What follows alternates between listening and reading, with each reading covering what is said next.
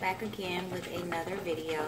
I'm April and I own 8th and Ross Candle Co.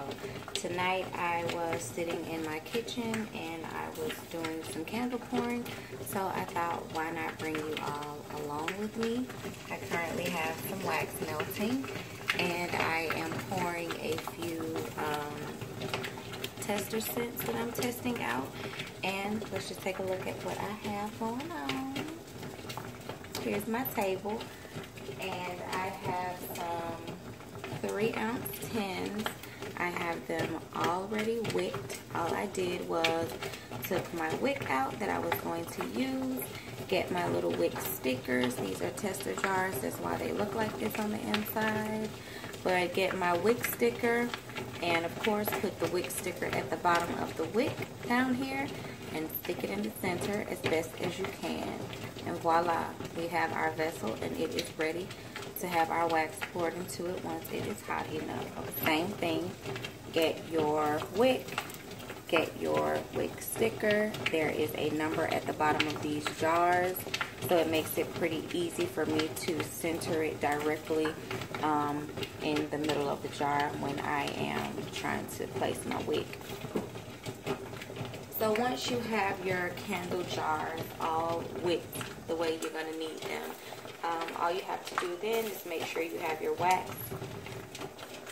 I have my wax already inside of my um, but as of right now, I am about to use my thermometer here and check to see exactly where my wax is because I don't have any more chunks or anything in here.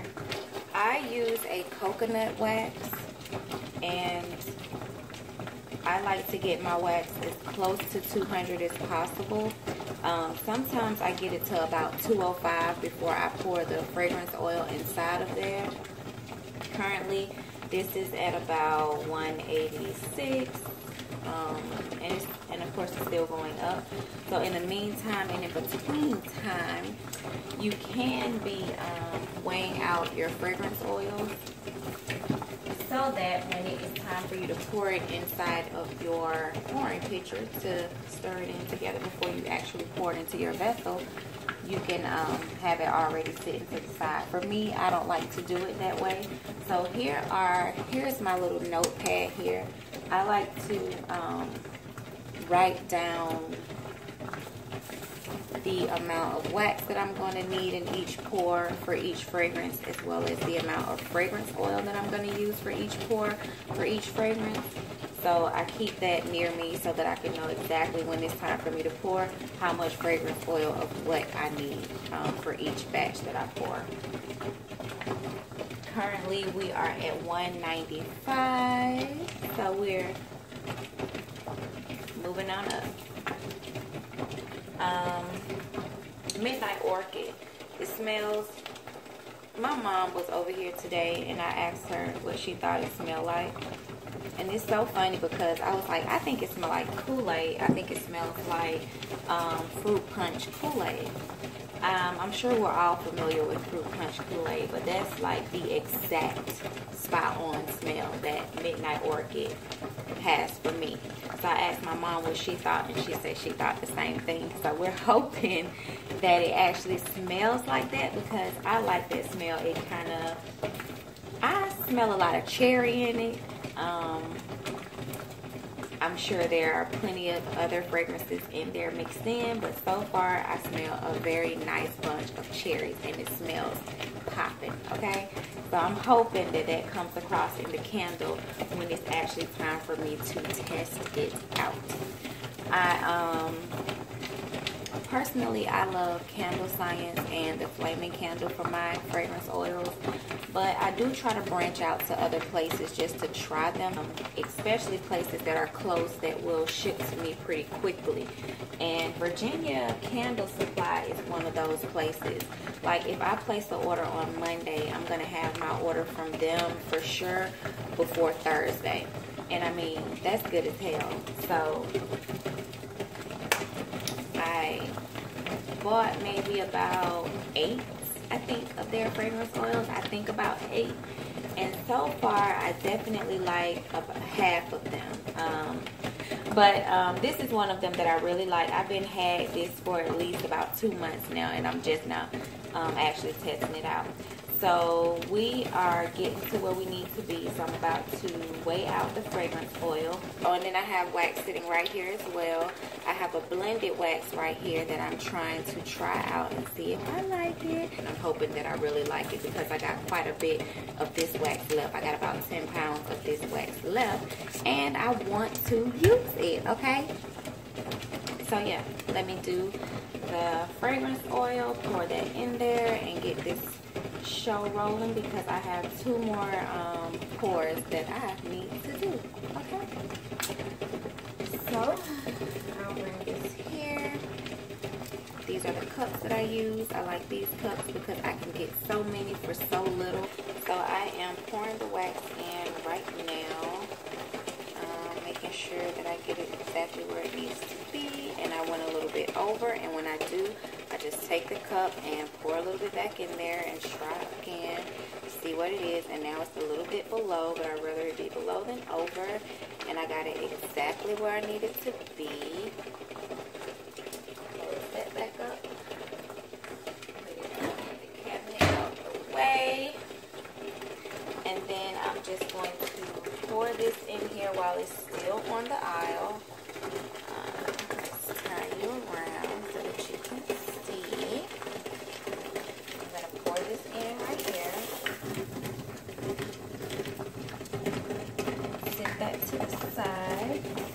I use these chopsticks here to um,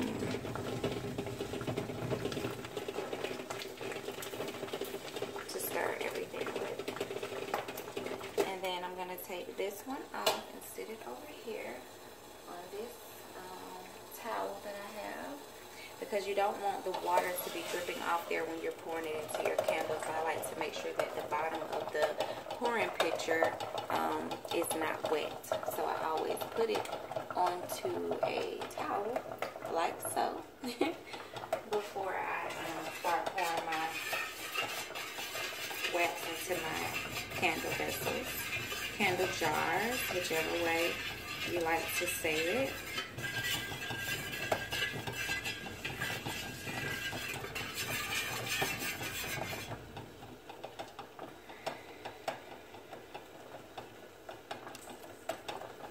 Now let's pour. I am here and I am pouring this in here.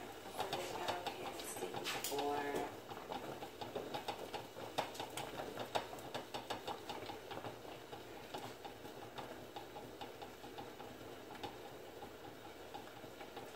And just pour slow and steady. That's all you have to do. That's so good.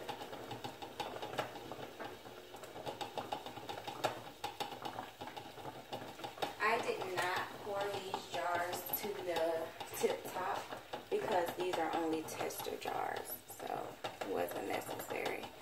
I like to use um, a little bit of alcohol when I'm done.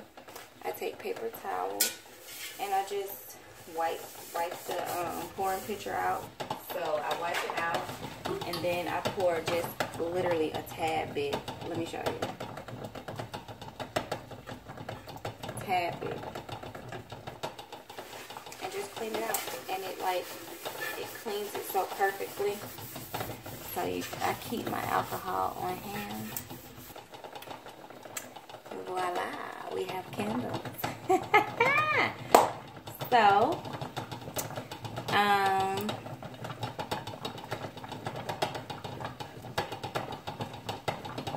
I just wanted to bring y'all along so that y'all can see how I go about pouring my candles.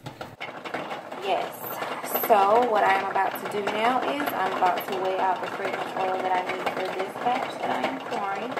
And it's pretty much the same as the other one.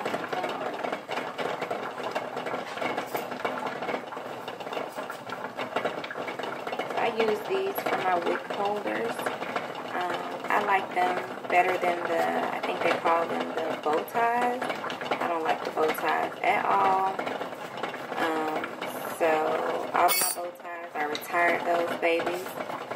They are sitting to the side, watching the birds, while I use these. And I don't know exactly what these call, but I call them wick bar holders. You just slide your wick through here. I like them. I like them, baby. Alright, so it's time to get another cup.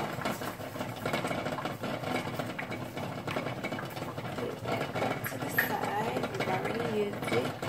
And we're going to tare the scale. And now I'm pouring.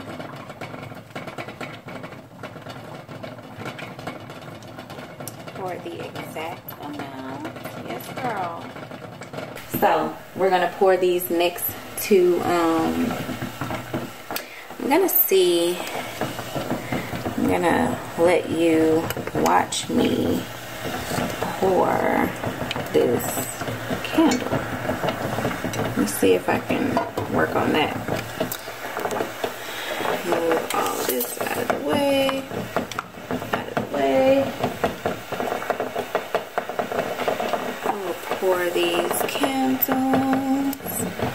Baby, baby. Uh, okay.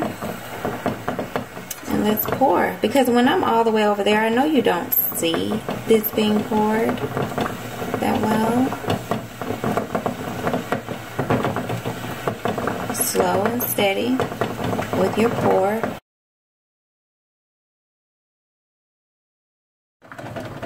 I do not know why my camera keep cutting off on me.